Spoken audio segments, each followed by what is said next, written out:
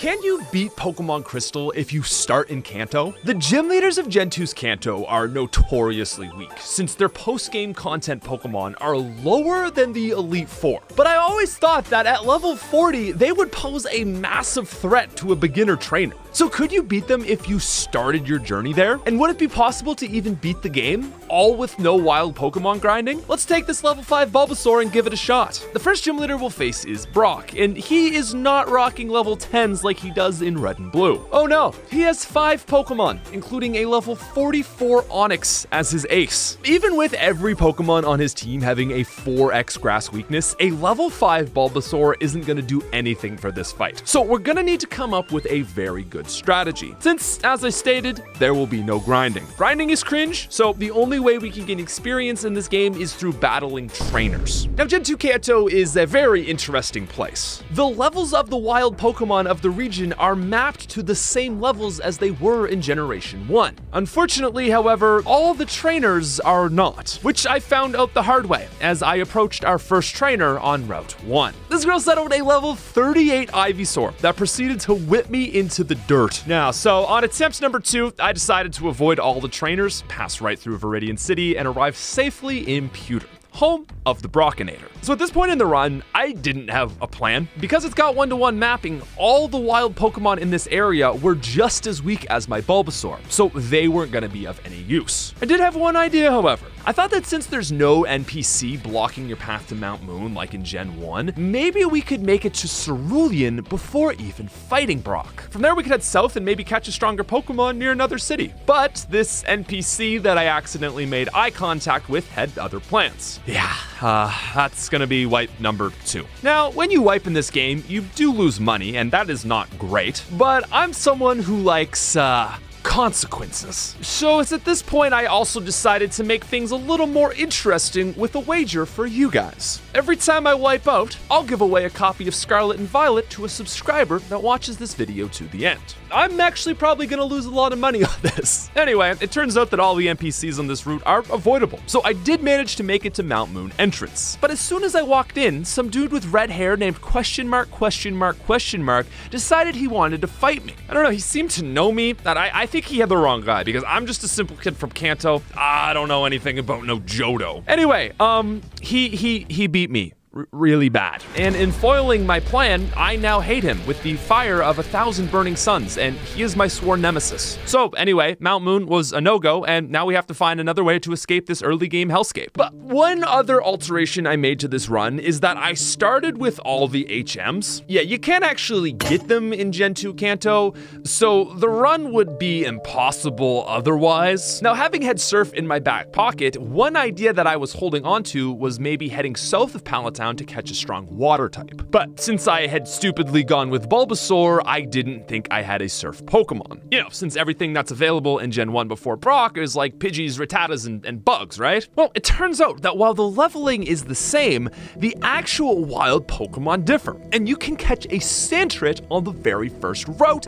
that learns Surf. So with no other clear options, that's exactly what we did. Taught it Surf, put one foot on its belly, one foot on its face, and we took off together from the shoreline. And as my little man Sandshrew was backstroking further and further from the shore, a level 39 Tentacool decided to fight us. With wipe number 4 inbound, an inability to run, my only point of recourse was to catch it. So I threw a Pokeball, and it actually worked. Yeah, it turns out that catching like high level wild Pokemon is not that crazy. But regardless, I was thrilled, and in my surprise, I named this guy LOL. Anyway, from here, I immediately took this Tentacool up against some of the weaker bug catchers of Route 2, it was then able to evolve into Tentacruel, and all of the sudden, it's looking like we actually have a shot against Brock and maybe even beating the game. Now, just before we get into this fight, I will give you the rest of the rules for this challenge. The first is I'm not going to allow myself to use HMs within battle until I get their corresponding gym badge number. Mainly because Surf is overpowered, and the purpose of getting HMs is only to make the map accessible. The second rule is I can only catch one Pokemon per route, and I'm not allowed to use duplicate Pokemon. That way, I can't just stack up on Tentacruel for this fight. Also, I can't use items in battle, we'll be playing all major fights under set mode rules, and I have to beat the gyms in order. So, Brock is up, and just like we do in Gen 1, I lead with Bulbasaur. But from here, the fight takes a very different turn. I switch to Sentret for a free swap in onto my Tentacruel. He chooses Rollout, but it doesn't really matter because I four times super effective one-shot him, and Bulbasaur gets some juicy experience. Rhyhorn is out next and goes down in one shot as well. But now it's into the hard stuff because Omastar is Water Rock, so it's only neutral to water moves. It starts by hitting a Spike Cannon as I defend with Barrier that raises my defense by two stages. I then go for a barrage of Bubble Beams as it lands Surfs, taking me into the orange before it can go down. And at this point, he sends out Kabutops, which puts us in a very tricky spot. I've got Barrier up, so Slash isn't to do a lot of damage. But this move has a higher chance to crit, and if it were to do so, it would ignore all my defensive stat boosts and do double damage, resulting in a loss. So as I continue my beaming of bubbles, the moment of truth reveals itself as I in fact land a crit,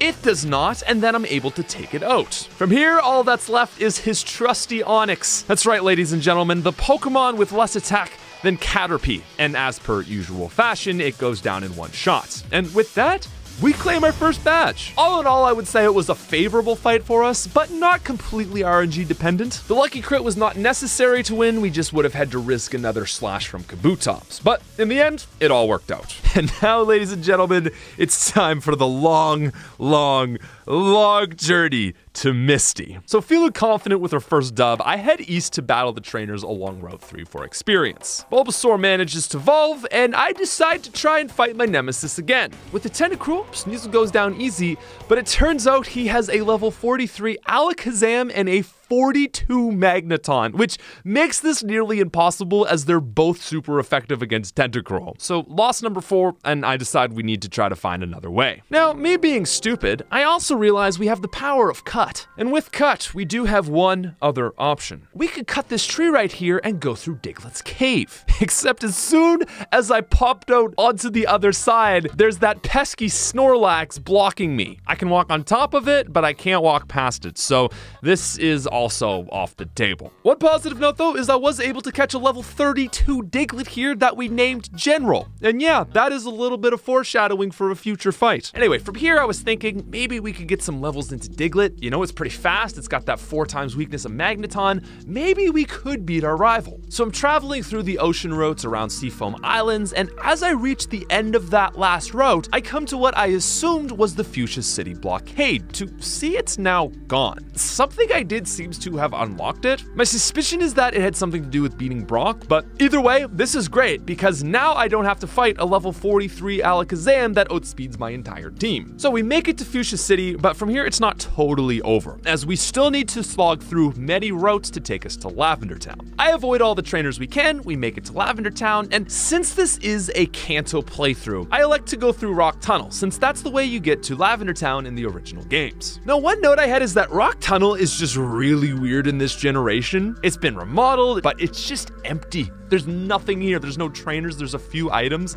It's it's really sad actually. And through this long journey, the other thing you may have been wondering is whether I've been catching any super strong Pokemon. The answer is sadly no. The level scaling is exactly the same as in Gen 1, and I'm realizing that the water route we were just on might have the strongest Pokemon we can catch in the entire region. So although we did manage to get in some nice training for Ivysaur, the team isn't looking misty ready as we walk into Cerulean City. Now, Gen 2's got its own interesting thing going on for Misty. We walk into the gym, there's an encounter with a Team Rocket member with a machine part, and from here we head north to take on the Bootleg Nugget Bridge, which is more of a nugget field in the game that is composed of eight trainers in total through this field and not the bridge that you would have done in Generation 1. Anyway, we put the beat down in them, encounter Misty's dates, and lastly, I make sure to grab the Berserk gene, located just outside of where Mewtwo's cave would have been in this game. And while Mewtwo isn't here, this item will help us win one of the most challenging fights of this entire run. Now with that section taken care of, we head to the gym with a now Venusaur ready to take on Misty.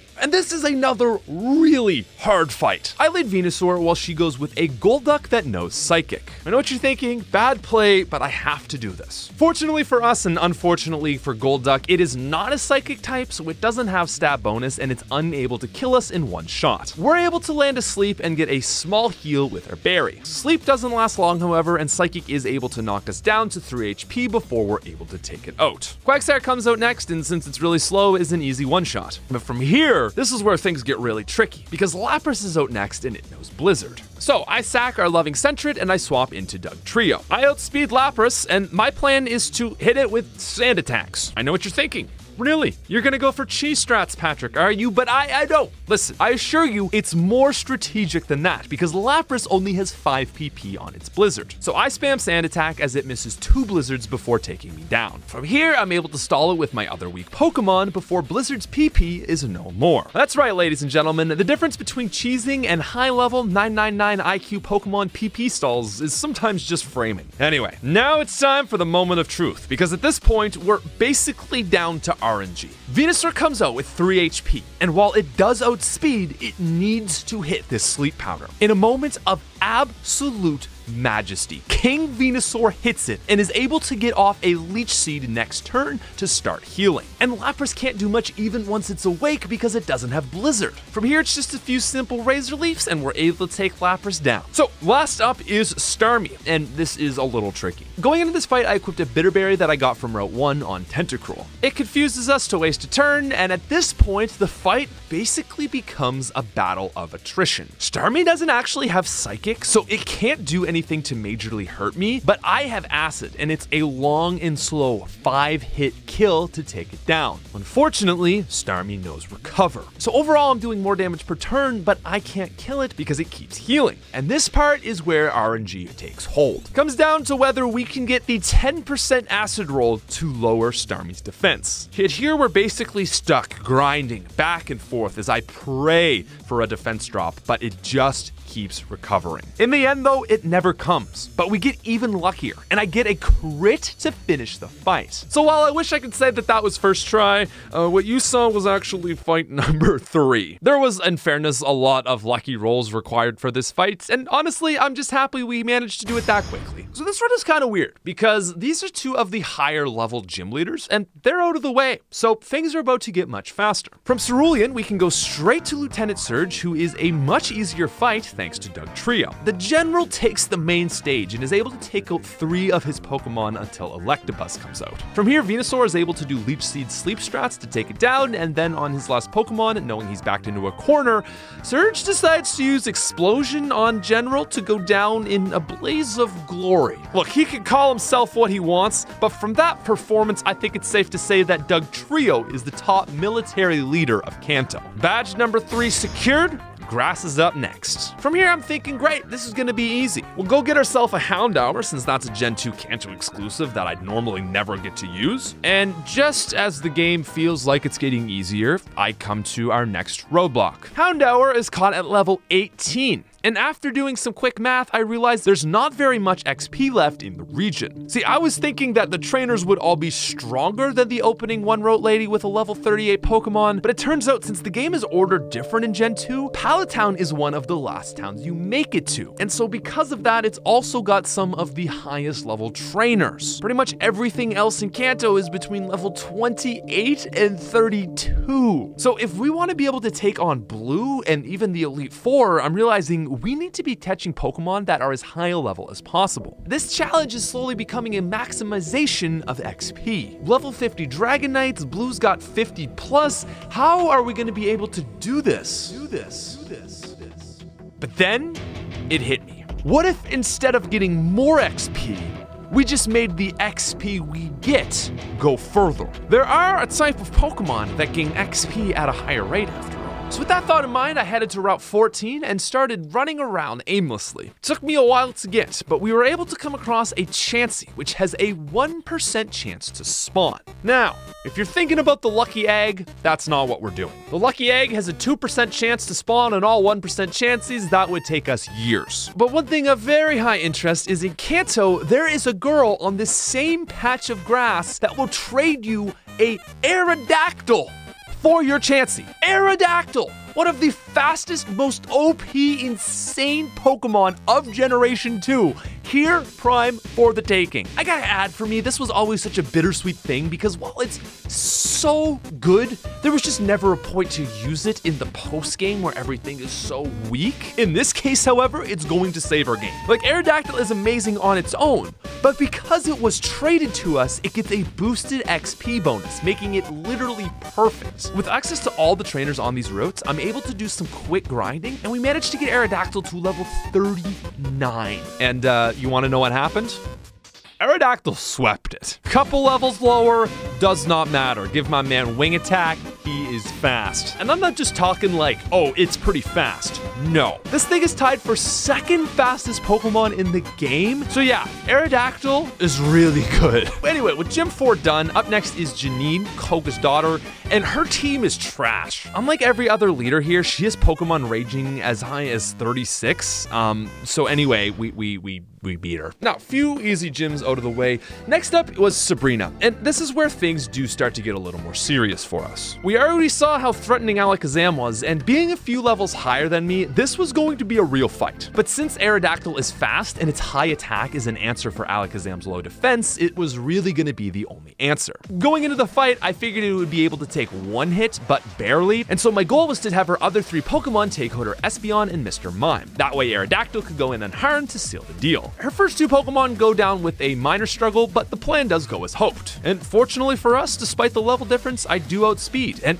as I hit the Ancient Power, fishing for an Omni Boost, I actually get it. I don't think this would have mattered as she just went for reflect anyway, but it's kind of funny, and I'm just happy that we can get this fight done with. So up next is the fire type leader Blaine, and this is always a sad fight. As a fire type user, he's easy in every game, and it's only made more sad in this generation since his gym has disappeared. But with type advantage, Blaine goes down super easy, and now we are on to a true threat. I would put Blue at a tie for hardest trainer in this game. While his team is higher leveled than Lance, I think it's hard to argue against three pseudo legendaries. So putting these guys at the same difficulty, we've got a pretty serious fight on our hands. Now, at this point, I was also thinking of what I wanted for my final team to be going into the Elite Four, and I actually went out and caught a Mr. Mime. Technically, this is the same route as where we caught the Tentacool, but seeing as the other water routes we hadn't caught anything yet, I figured we'd be fine to just move Tentacool over there. And while not an insane attacker, Mr. Mime is a Pokemon that was going to provide us a lot of unique utility through the rest of the game. Starting with this blue fight, actually. So he starts with Pidgeotto, and I lead with Tentacruel to set off a Rain Dance. And with the power of water moves being doubled, Pidgeot goes down in two shots. Next up comes Alakazam, which is his biggest threat, but also his lowest leveled Pokemon. So I swap to good old reliable Sentret to take a Psychic, and then we get a free switch in on Mr. Mime. This will be the first, but certainly not the last time that Mr. Mime comes in as very useful. Not being able to one-shot, his Alakazam goes for Reflect, and I actually hit hit an Encore. So Alakazam is now locked into using Reflect for two to five more turns. And the greatest thing about this is it doesn't even renew the turn length on Reflect, it simply just fails whenever it uses it again. So from here I hit a Light Screen, swap into Aerodactyl, and 3-shot the Alakazam with Ancient Power.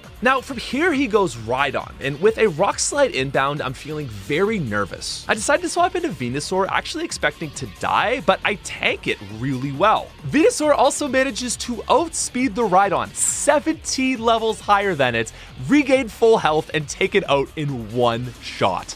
Let's go. From here, he goes Arcanine, I go into Aerodactyl to outspeed with Ancient Power, but he hits Roar into Tentacruel, which is actually perfect. Tentacruel is bulky enough to hang on and survive an extreme speed, and I take it out with Surf. So Gyarados comes out next, and because it sees a kill with multiple moves, it's going to pick one randomly. We get incredibly lucky though, and it goes with Hyper Beam. This is amazing because it means next turn he will have to recharge. From here, Aerodactyl comes out, Ancient Power does over half, he recharges, and it goes down without getting any damage on us. Now, Exeggutor comes out next, and I'm thinking, okay, this fight is in the bag. This is one of the most weakness-ridden Pokemon in all of the franchise. Like, this should be easy, right? No, actually, because he goes with the full restore. So I hadn't seen an AI healing Kanto this entire run, and I had actually thought that it was just not on the table for them. I was so devastated because I thought I played this fight like And I don't know, at this point, a, a, spark just welled up inside me and I got mad and I said, screw it, I'm going offensive. So I swapped to Venusaur and I hit the sleep. From here, I swap back into Dugtrio and start sand attacking him. He sees a kill with Solar Beam, so keeps trying as I slowly whittle him down with Slash. And in this absolute rage, it actually manages to work.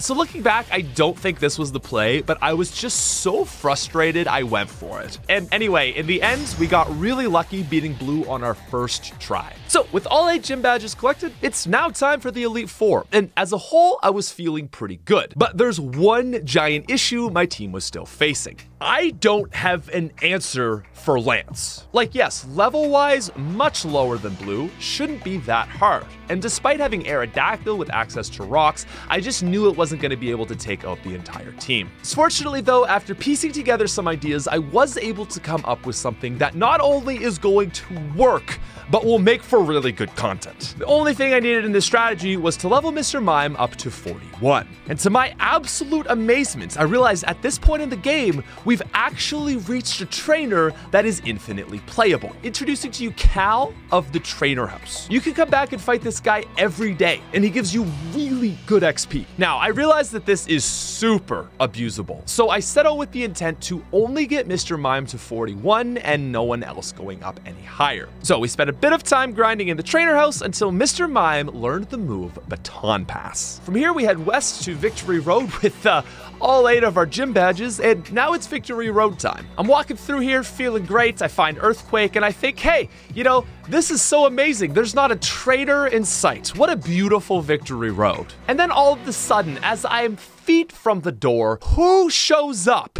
But that dude with the red hair. Yeah, I'm talking that guy, my sword nemesis. And can you believe this? He challenges me to a fight again. And so, as promised from the start, I beat this dude deeper into the ground than a Dugtrio knows to dig. With that, it was time for the Elite Four. Well, Actually, not quite, because I only have five Pokemon, and I thought about adding something else to our team. Could have gone with any sort of level 40 Super Rod Pokemon like Gyarados or Quagsire, and that would have been really nice. I also could have taken a Victory Road Pokemon, and I definitely know you guys are gonna hate me for not grabbing the Snorlax, but listen here. Was going into this with a strong team and a very good strategy for Lance. And our little squirrely boy Sentret has been on the team from the start, taking shots to the dome for everyone else to get those nice setups. Could I really not send this beautiful boy to the Hall of Fame? I sure thought he'd earned it. So with that, I decided to keep our furry friend on the team, and I entered Will's room. I led with Mr. Mime and go for a light screen to start off.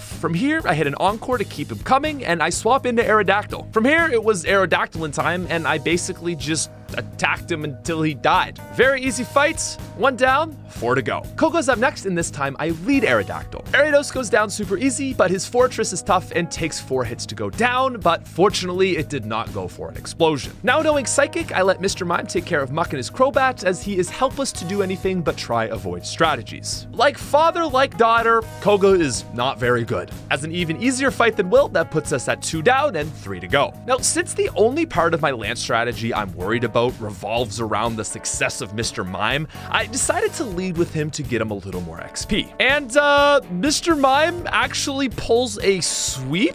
I believe the Machamp was a range, so yeah, and unsurprisingly, easy third win. Now, at number four, we have Karen, and in my opinion, this is the only cool Elite Four member. She's smart and leads with the new Dark-type Umbreon, unlike Will, who just didn't get an Espeon. Anyway, since this thing can be really annoying, I go Venusaur, but it does what it does best and is really annoying. I miss seven times in a row. But I finally land a Leech Seed. From here with leftovers on my big boy though, it's only a matter of time before it succumbs to the sore. Next, Tentacruel takes a hit from Houndoom before laying it out with Surf. And seeing as my man hadn't had any screen time yet, I wanted to give General the spotlight. And so I just sent him on a suicide mission against Vileplume. So he takes a first Petal Dance from Vileplume to land an Earthquake before going down, except, oh wait, what is that? The Focus Band activates and he holds on with one 1 HP. He's paralyzed, but Vileplume gets fatigued, hits itself in confusion,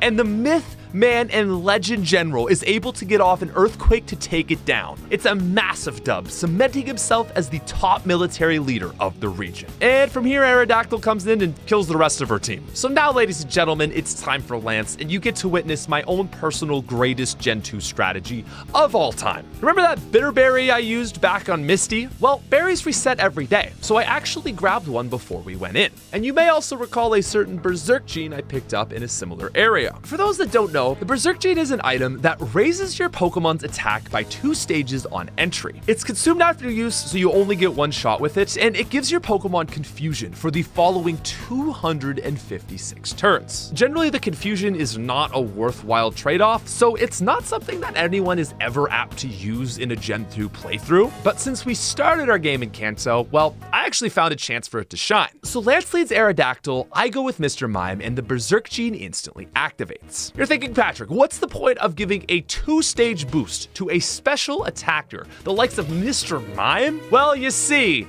it's the baton pass option, of course. So since it's confused, in this game, Mr. Mime has a 50% chance to hit the baton pass, and this is relatively crucial. Fortunately, we managed to hit it in the first attempt, and Aerodactyl comes in with all the stat changes on field, including confusion. Amazingly, Gyarados doesn't even Hyper Beam, but instead Rain Dances. And since Aerodactyl is holding a Bitter Berry, that instantly clears up its confusion. Now, you remember how I said Aerodactyl is like fast? Well, let's just take a peek at Lance's team.